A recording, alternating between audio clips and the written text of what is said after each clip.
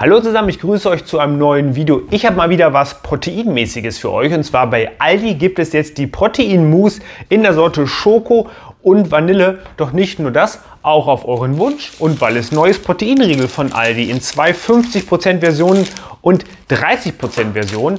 Ähm, die haben gekostet jeweils 1,19 Euro, wenn ich mich nicht irre. Die hier jeweils 95 Cent. Und wir blicken einmal direkt drauf auf die Zutaten und was da sonst noch so drin steckt. Schwupps, und der ist hier irgendwo. Also, ähm, Klassiker natürlich, Vanille, Schoko, Mainstream überhaupt und in Deutschland sicherlich die ähm, beliebtesten Geschmäcker, von daher findet man das da immer. Wir haben eine Proteinmousse mit Vanillegeschmack und Süßungsmitteln, gibt es auch bei Nord und Süd. Milsani ist ja dann die vereinnahmte Marke. Ich glaube, das ist die, die, so hieß es bei Nord. Ich weiß gar nicht, wie die Milchmarke früher bei Aldi Süd hieß. Das könnt ihr mir mal gerne in die Kommentare schreiben. Ähm, das war jedenfalls getränkt und die harmonisieren das ja jetzt immer mehr. Die Zutaten sind entrahmte Milch, Milcheiweiß zugesetzt, was dann eben dafür sorgt, dass wir hier auch auf 10 Gramm kommen. Aber da ist noch mehr leider drin, aber auch verständlich, Sahne und die Gelatine. Für die Stabilität, man kann es auch mit vielen anderen Produkten machen. Ich hatte auch schon mal vegane Mousse für euch getestet, aber Gelatine ist leider immer noch hauptsächlich benutzt, um ja, solche Produkte herzustellen.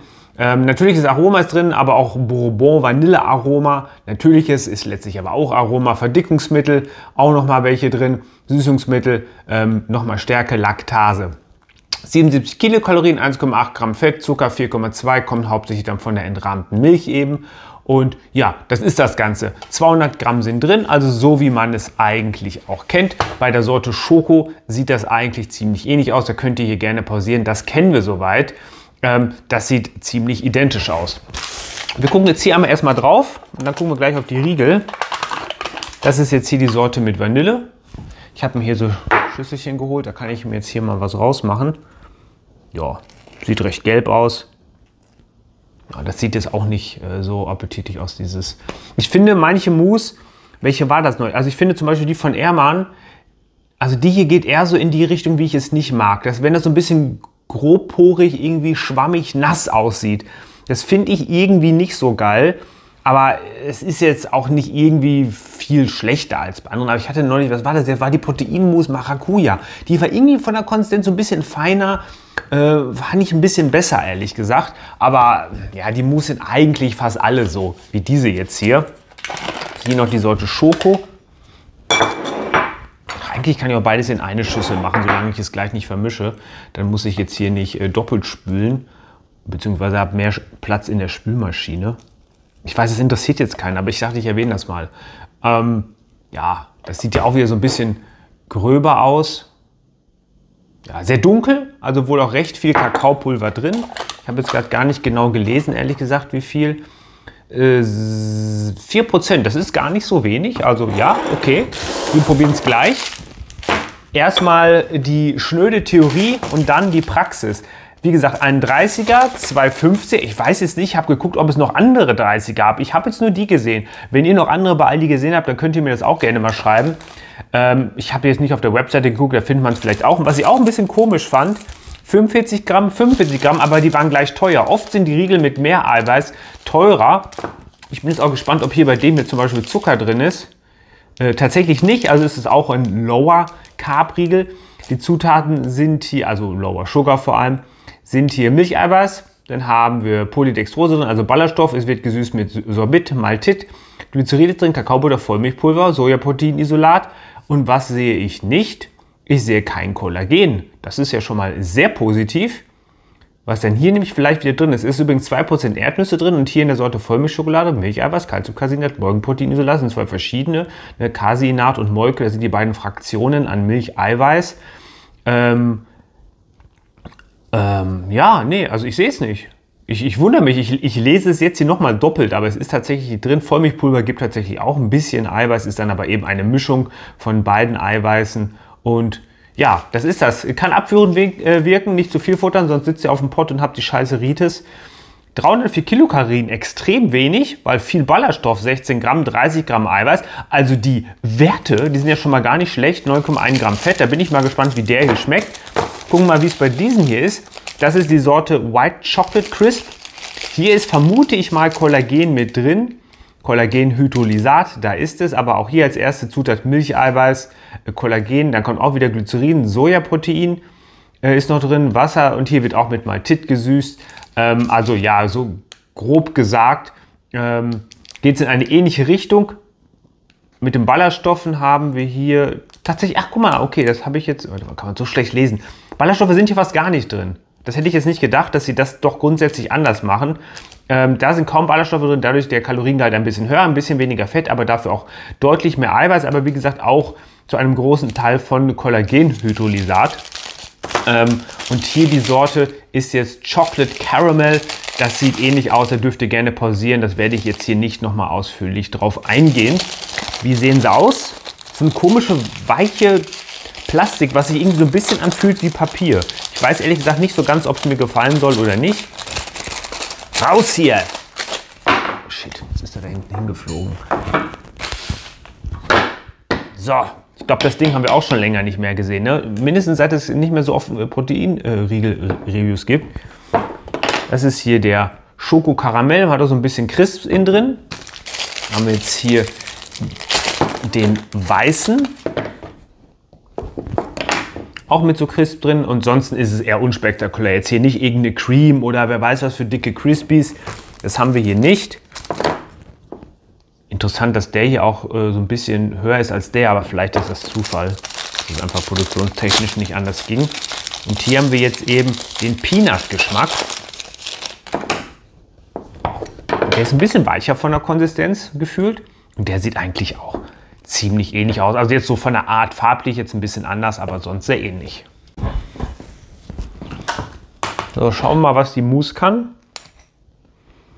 Riecht schon mal sehr vanillig, aber extrem penetrant, künstlich vanillig. Ja, das ist so ein bisschen diese komische, irgendwie so schaumigere Konsistenz. Ja, also die finde ich ehrlich gesagt nicht so gut. Mmh. Konsistenz ist komisch.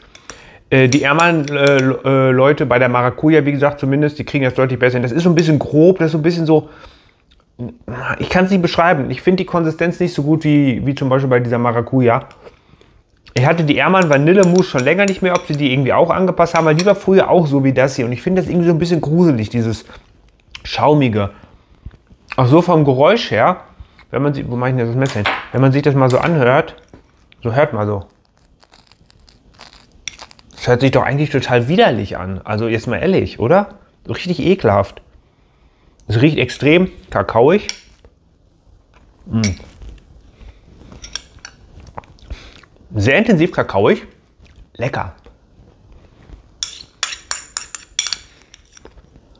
Mm. Gefühlt hat er ein bisschen mehr Stabilität. Ja, irgendwie ist er so ein bisschen fester, kommt der mir vor. Sehr intensive Kakaonote. Ähm, ist zwar auch Aroma drin, aber eben vielleicht ein bisschen Kakao-Aroma, aber ich finde es sehr intensiv kakaoig, es ist ja auch recht viel drin. Also den finde ich lecker, bis auf die Konsistenz, aber bei dem finde ich die Konsistenz auch irgendwie noch schlimmer und der ist halt irgendwie auch so, weiß ich nicht, so anders. So der, also nicht anders, ist nicht großartig anders, aber ist irgendwie nicht so geil. Den hier finde, hingegen finde ich ganz gut, aber wie ihr auch wisst, normalerweise braucht man solche Produkte auch nicht. So, jetzt kommen wir mal zu dem Erdnussriegel. Scheiße, war das jetzt der Erdnuss? Fuck, welcher war denn jetzt welcher? Das hier ist. Nee, das hier ist. Nee. Hä? Doch, also laut Packung müsste das hier der Peanut sein. Ja, der, ups, der riecht auch nach Peanut.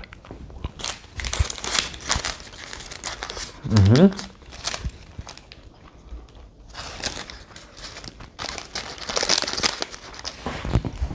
Aldi Sports. Okay. Also er riecht tatsächlich ein bisschen nach Erdnuss, aber er schmeckt nicht sehr nach Erdnuss. Was sehr interessant ist, muss sagen, vielleicht liegt auch ein bisschen, dass ich vorher diese künstlichen Dinge da gegessen habe.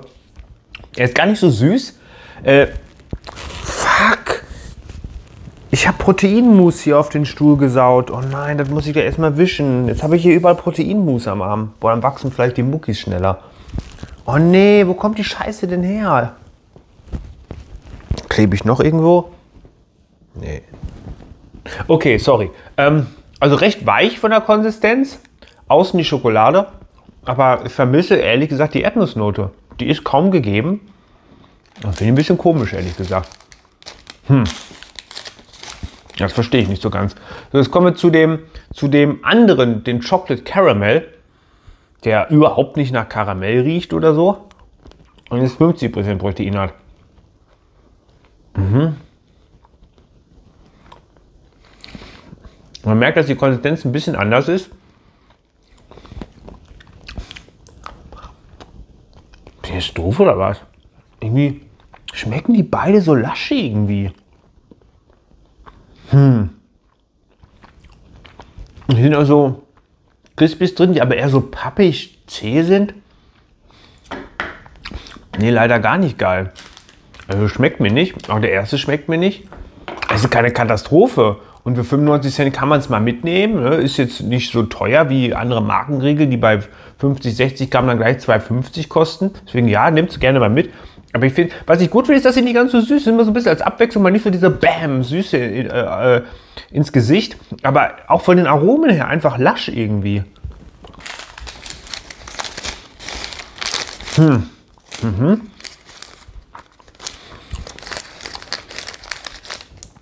Bei dem White Chocolate kommt gefühlt diese, diese weiße Schokoladenote noch am besten durch. Aber insgesamt auch ein bisschen muffig. Die sind alle ein bisschen muffig. Nee, also leider nicht so geil. Also von allen Produkten, die ich jetzt hier vorgestellt habe, ist das das Einzige, wo ich sage, hey, das schmeckt mir gut. Ähm, nee, also ich bin ein bisschen enttäuscht, gerade von den Riegeln. Ich habe echt Bock drauf gehabt, weil die auch gesagt haben, teste doch mal. Und ich so, oh, geil, neue Riegel, finde ich schön. Aber geschmacklich sind die scheiße. Was soll ich machen? Also ich finde sie nicht gut. Aber wie ihr wisst, probiert sie selber aus und lasst auch gerne ein Abo da. Übrigens, ich mache jetzt verstärkt ein bisschen Werbung dafür. Ich streame jetzt öfter mal auf Twitch, Videospiele allerdings. Ihr könnt natürlich auch vorbeikommen und man kann auch mal über Foodblog quatschen, aber hauptsächlich ist es eben halt zum Zocken. Der Link ist in der Beschreibung. Würde mich freuen, wenn ihr mich dort abonniert und mir dort folgt. Ähm, ja, das wollte ich eigentlich nur in eigener Sache noch sagen. Vielen Dank fürs Zuschauen. Bis zum nächsten Mal. Macht's gut und ciao.